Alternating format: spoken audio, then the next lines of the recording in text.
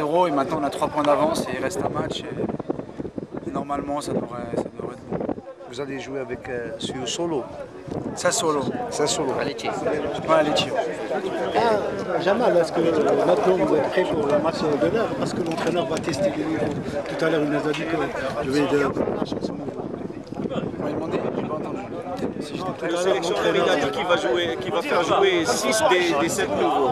Est-ce que toi tu es prêt à jouer ce match Bah, Inch'Allah, oui, bien sûr. C'est clair que je suis prêt euh, mentalement, physiquement pour, euh, pour commencer avec l'équipe d'Algérie.